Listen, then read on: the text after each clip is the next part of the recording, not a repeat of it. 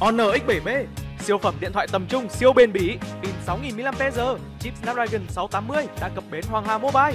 Đặc biệt, giảm ngay 500.000 đồng trong thời gian mở bán, tặng phiếu mua hàng trị giá 100.000 đồng. Quẹt ngay mã QR để biết thêm thông tin chi tiết. Chào các bạn, nghèo thì đau đầu là đương nhiên rồi, thế nhưng mà giàu cũng chưa chắc đã sướng đâu. Giờ giả dụ có 50 tỷ trong tay thì liệu bạn sẽ làm gì?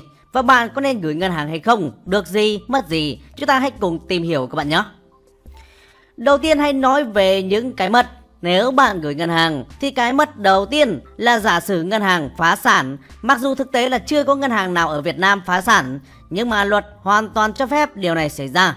Vậy nếu chẳng may bạn gửi 50 tỷ mà ngân hàng phá sản thì số tiền bạn nhận được sẽ là 125 triệu đồng.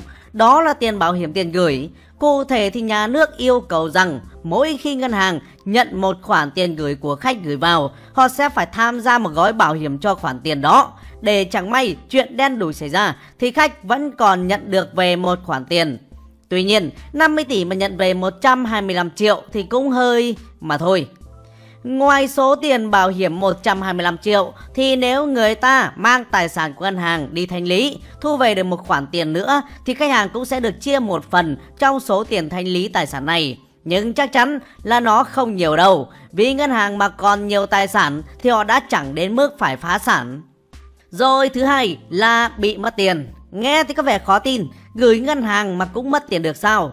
Kết nhà băng an toàn nhất đất nước cơ mà. Thì đúng là thật, Mặc dù ngân hàng Việt Nam đã có kha khá thằng ngu đến cướp, nhưng chưa vụ nào mà công an không điều tra ra. Còn mấy thể loại đào hầm dưới lòng đất chui vào kho tiền để cướp như trong phim Mỹ thì ở Việt Nam chưa có ông cướp nào làm được như vậy.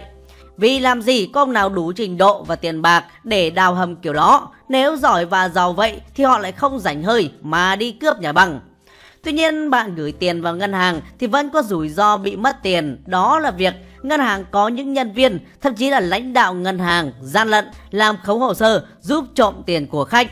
Chúng ta có thể kể ra một vài vụ nho nhỏ như là ngân hàng MSB có giám đốc rút tiền của 8 khách với giá trị khoảng 338 tỷ đồng, tương đương hàng chục căn biệt thự liền kề. Hay ngân hàng Sacombank, khách bị rút mất 47 tỷ đồng. Ngân hàng Vietcombank, khách bị rút 12 tỷ đồng. Ngân hàng Eximbank, khách mất 245 tỷ đồng. Trong những vụ này, có vụ thì cơ quan điều tra không xác minh được bên nào là sai phạm vì hồ sơ có chữ ký được giám định là thật của khách. Có vụ thì cán bộ lợi dụng sơ hở nhận tiền của khách nhưng không cho vào hệ thống.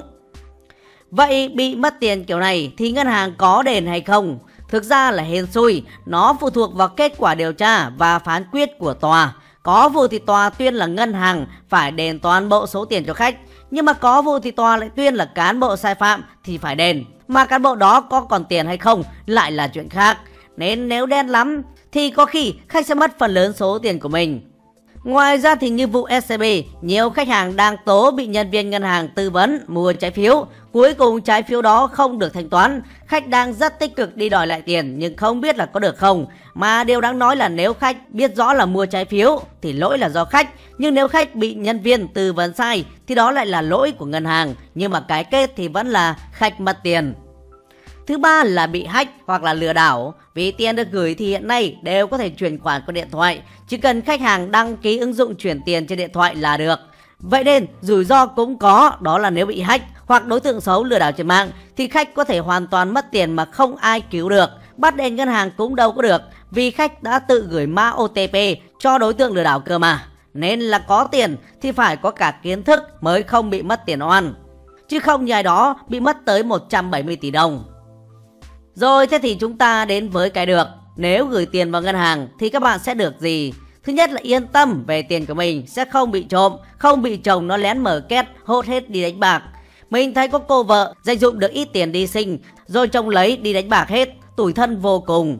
Gửi ngân hàng có thể nguy cơ bị mất tiền nhưng mà điều đó rất hiếm so với việc bị mất trộm, bị phá két.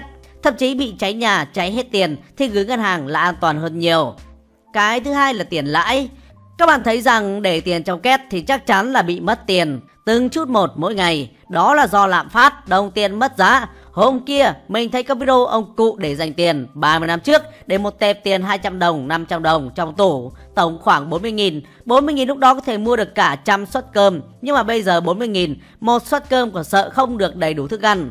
Đặc biệt là cơm mà mấy vận động viên thể thao ở đội tuyển nào đó hoặc là cơm của mấy em học sinh ở vùng cao trường nào đó. Những suất cơm hào phóng của huấn luyện viên và hiệu trưởng, ai nhìn vào cũng phải xúc động.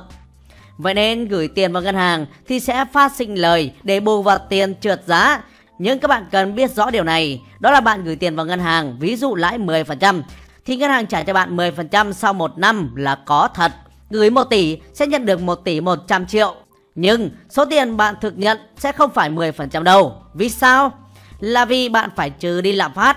Nếu đồng tiền của bạn đã bị mất giá rồi, ví dụ bạn gửi tiền ngân hàng lãi 10%, nhưng năm đó lạm phát 5%, thì thực tế bạn nhận được có 5% thôi. Ví dụ bạn gửi 100 nghìn, lúc đó 100 nghìn mua được một cái quạt. Sau một năm bạn nhận được 110 nghìn, nhưng cái quạt đã tăng giá lên 105 nghìn rồi thì bạn chỉ còn lời được 5 nghìn sau một năm gửi tại ngân hàng. Mà thực tế là 10% là lãi suất trong mơ. Hiện nay ngân hàng cho gửi lãi có 3 đến 5% thôi. Vậy nếu lạm phát cũng là 5% thì coi như chẳng được cái gì. Mà nếu gửi 3% thì còn lỗ 2% so với giá trị thực. Thế nên gửi tiền ngân hàng không phải là kênh đầu tư tốt nhất. Bởi vậy mà có nhiều người chọn mua đất, mua vàng, mua cổ phiếu, ném tiền vào những thứ này có thể sẽ an toàn hơn, nhưng cũng rủi ro hơn. Mua cổ phiếu mà công ty phá sản thì gần như mất trắng. Mua vàng mà vàng xuống giá thì cũng lỗ. Mua đất thì hiện tại là ngon nhất vì đất vẫn cứ tăng giá đều đều. Nhưng mà sắp tới, chính phủ siết chặt quản lý, quốc hội mà thông qua luật thuế đất thì coi chừng giá đất lại tụt không phanh. Vậy với những lợi hại như trên thì là bạn, bạn có gửi tiền ở ngân hàng hay không? Hay là sẽ giải tiền ở nhiều kênh khác nhau? Chứng khoán một ít, vàng một ít, một ít đất, một ít ở ngân hàng. À mà mình nói nhỏ thế này, có một kênh đầu tư nữa đó là kiến thức Vì có kiến thức là có tiền Mà thú vị là đầu tư cho kiến thức lại miễn phí không đồng ngay tại đây Vậy thì tội gì không tham gia phải không Nếu đồng ý hãy theo dõi các video của kiến thức thú vị mỗi ngày nhé Nhớ bấm đăng ký để ủng hộ team mình các bạn nhé và hãy chia sẻ video nếu các bạn thấy hữu ích. Cảm ơn các bạn rất nhiều. Và nhân tiện ai muốn mình giải thích về kiến thức gì, Hãy bình luận ngay bên dưới nhé Cảm ơn các bạn đã xem video. Xin chào và hẹn gặp lại.